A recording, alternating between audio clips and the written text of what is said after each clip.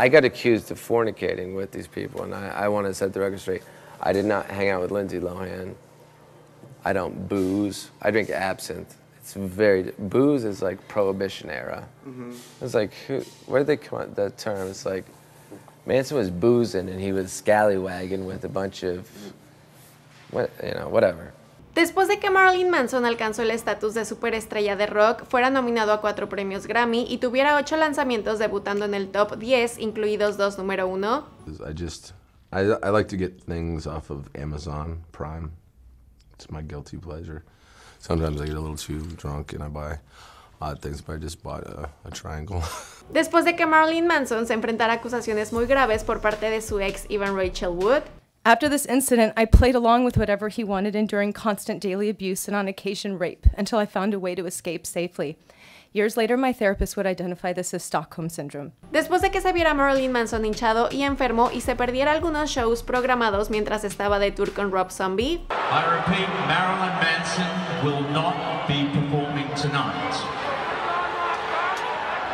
If you are here solely to see Marilyn Manson,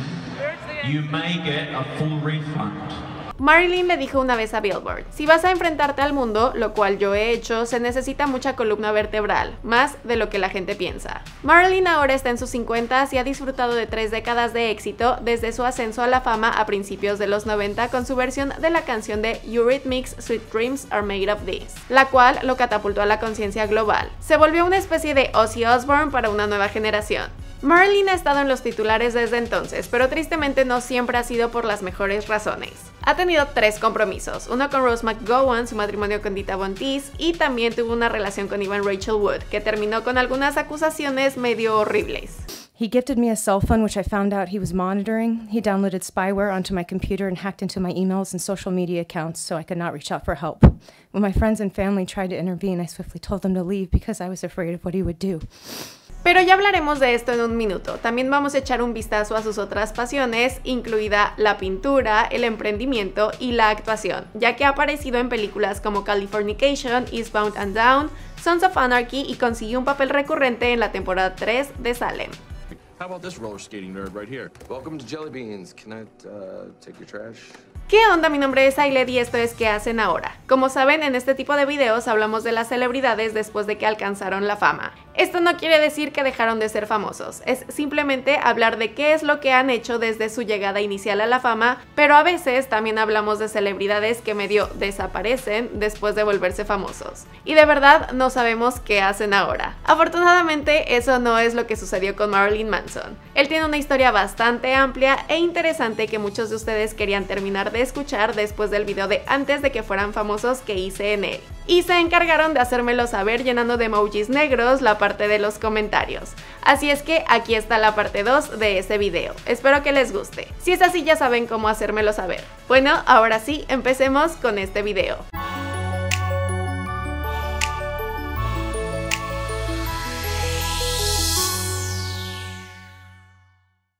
Fans uh, Marilyn Manson. Well, good luck with that.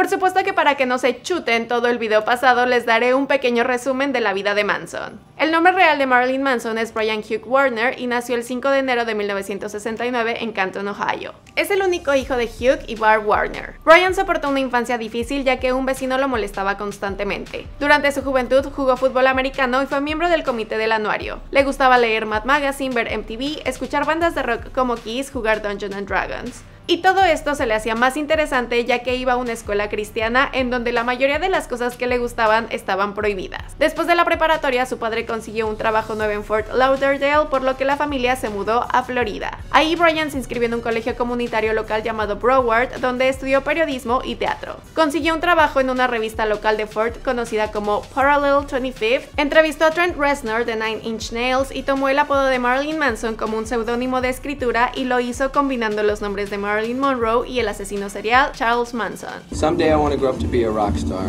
Let that be a lesson to you, kids. En 1993, Marilyn Manson y su banda obtuvieron un contrato con el sello discográfico de Trent Reznor. Eso les dio un lugar en la gira de 1994 de Nine Inch Nails. El primer álbum de Marilyn Manson se tituló Portrait of an American Family y fue producido por Reznor y le dio a Manson éxito comercial. Su siguiente EP, Smells Like Children, fue lanzado en 1995.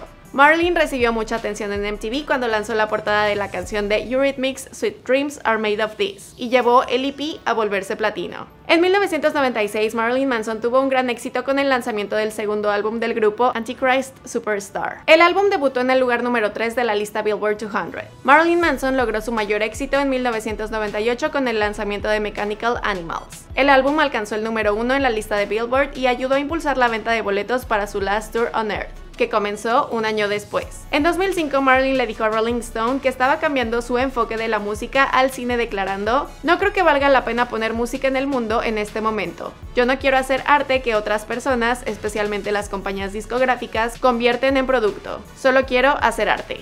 En 1999, después de la masacre de Columbine High School, hubo acusaciones de que los asesinos Eric Harris y Dylan Klebold fueron influenciados por la música de Marilyn Manson. Cuando se presentó evidencia de que ni Harris ni Klebold eran fanáticos de la banda, muchos criticaron a los medios por usar a la banda como chivo expiatorio en lugar de analizar los problemas sociales que rodeaban al incidente. En el controvertido documental Bowling for Columbine, Michael Moore entrevistó a Manson sobre la tragedia. Cuando se le preguntó qué les diría a estos dos si tuviera la oportunidad de hablar con ellos antes de los asesinatos, Manson respondió, no les diría una sola palabra, escucharía lo que tienen que decir y eso es lo que nadie hizo. Eminem hizo referencia a la controversia en su canción The Way I Am, en donde dice, cuando un tipo es intimidado y dispara contra su escuela y le echan la culpa a Marilyn y la heroína, ¿dónde estaban los padres? Y Marilyn Manson hizo un cameo en el video de la canción. Así es que ahora sí, hablemos de su vida personal y carrera cinematográfica. Cuando Marilyn llegó a la fama, comenzó a asumir papeles pequeños en películas como Joe Breaker junto a su entonces novia Rose McGowan. Rose McGowan says cocaine is to blame for her split from Marilyn Manson. Continuó actuando en películas pequeñas, luego se interpretó a sí mismo en Californication y como era un gran fanático de Eastbound and Down, consiguió un papel en el programa. Marilyn expresó su interés en interpretar a Willy Wonka en el remake de la película. Al final el papel lo interpretó su amigo Johnny Depp, quien citó a Marilyn como inspiración para su representación. Mr. Wonka, I'm Violet Beauregard. Oh. I don't care. La relación de Manson con Ross empezó en 1997. Al año siguiente se comprometieron y fueron juntos a los MTV Video Music Awards en donde Rose llamó muchísimo la atención por el vestido que escogió para este evento, el cual se ha convertido en uno de los outfits más icónicos de la historia de los VMAs. La pareja no se casó y terminaron en el 2000 citando diferencias de estilos de vida. Aún así, siguieron como amigos. Su siguiente relación fue con la bailarina de burlesque, modelo y diseñadora de vestuario Dita Von Teese.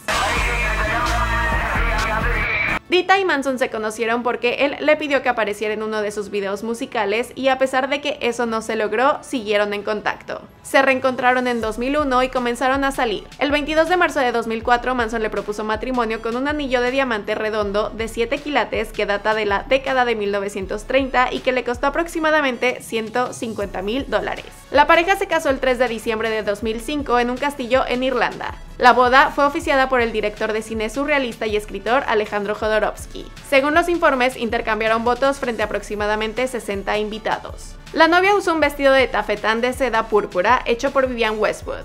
Las fotos de la boda aparecieron en la edición de marzo de 2006 de Vogue bajo el título La novia vestía de púrpura. El 30 de diciembre de 2006, Bontis solicitó el divorcio debido a diferencias irreconciliables. Period that I was married, and it seems like a very negative commentary on my relationship. Um, in some ways, it may be, but to me, I take all the blame. ET.com y People afirmaron que Manson estaba teniendo una relación extramarital con la entonces actriz de 19 años, Evan Rachel Wood. La relación fue confirmada por Bontis en una entrevista con el Sunday Telegraph en donde declaró, tengo la impresión de que él piensa que yo no lo apoyé, pero la verdad es que no apoyé su estilo de vida y vino alguien más que sí. El abuso de alcohol y el comportamiento distante de Manson también fueron citados como causa de la separación. Seven years total. We were Okay. married for only a year, and I feel like getting married was sort of like the kiss of death for us. Su siguiente relación fue con la actriz Evan Rachel Wood, y esta puede ser la relación más preocupante del rockstar. En abril de 2007, Evan Rachel Wood admitió que eran pareja y aparentemente sí fue una relación bastante complicada ya que cortaban y regresaban a cada rato. Hasta que en diciembre de 2009 Manson supuestamente le propuso matrimonio a Evan en París durante su última actuación de The High End of Low Tour, pero en agosto de 2010 la pareja se volvería a separar. Cuando los dos finalmente se separaron, Ivan hizo públicas historias impactantes que incluían control obsesivo, abuso doméstico e incluso tortura. He broke me down through means of starvation, sleep deprivation, and threats against my life, sometimes with deadly weapons, which would result in me having severe panic attacks where I was unable to breathe or stop shaking. Los dos estuvieron comprometidos durante varios meses antes de separarse oficial y públicamente. Yo personalmente creo que Evan Rachel Wood merece todo el respeto del mundo ya que ha hablado de su experiencia y ha tratado de ayudar a otras mujeres que vivieron o están viviendo situaciones similares. Por supuesto que la relación con Manson es inexistente y a la fecha no se hablan. Y al buscar una reacción de Marlene con respecto a las acusaciones, lo mejor que pude encontrar fue una entrevista en donde habla sobre su ex Rose McGowan y el movimiento Me Too contra Harvey Weinstein. Y recalco, esto no tiene nada que ver con las acusaciones de Ivan hacia él, pero tiene un poco que ver con el tema y esto es lo que él piensa sobre esto. When someone starts complaining about something that happened that seems a little bit not as serious as really sexual assault because that's that I think that's insulting to people that have been sexually assaulted. And and it pisses me off that when someone says, "Oh, someone gave me an inappropriate gift or something." That's not the same as being harmed and Después de separarse de Ivan, Manson se ha relacionado con varias mujeres, pero la última con la que se le relacionó fue con la fotógrafa Lindsay Usich. Pero desde 2015 no se han mencionado públicamente más parejas románticas. Lo que la gente quizás no sepa sobre Marilyn es su amor por la pintura.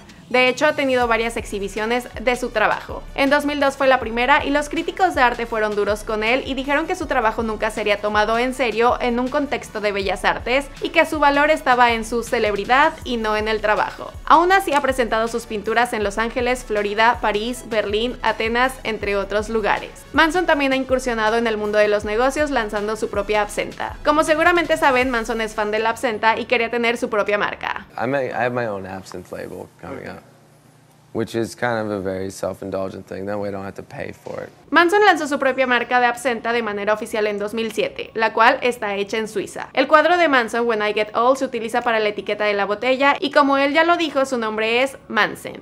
En cuanto a sus relaciones más personales, pocos conocen el fuerte vínculo de Manson con sus padres. En 2014 su madre murió después de una batalla de 8 años contra el Alzheimer. Esto hizo que su relación con su padre se hiciera más fuerte y cuando Manson compró su primera casa en Los Ángeles, su padre condujo desde Ohio para visitarlo. Los dos pudieron pasar un tiempo juntos en 2017 antes de que su padre falleciera.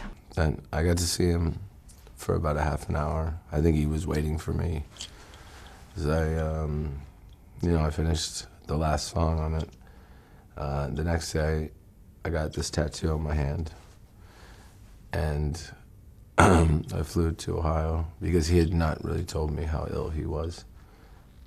And I think that he just wanted to be with my mom, wherever that is, you know. And uh, it, within a half an hour, he died from me seeing him. And I got to tell him I loved him and say goodbye to him, so that was very important to me. Al momento de esta grabación, Manson sigue haciendo sus cosas, sigue saliendo de gira, sigue sacando álbums, el más reciente, como todos saben, es We Are Chaos, el cual es su undécimo álbum de estudio. Su patrimonio neto se estima en 25 millones de dólares y si quieren saber bien dónde vive, ya hizo un video de su house tour. Si no lo han visto, por aquí les voy a dejar un link. Y bueno, creo que con eso terminamos este video. Espero que les haya gustado. Si fue así, ya saben cómo hacérmelo saber. Prendan la campanita de notificaciones para que les avisen cada vez que suba un video y nosotros nos veremos en otro video. Les mando muchos besos y saludos a todos. Bye!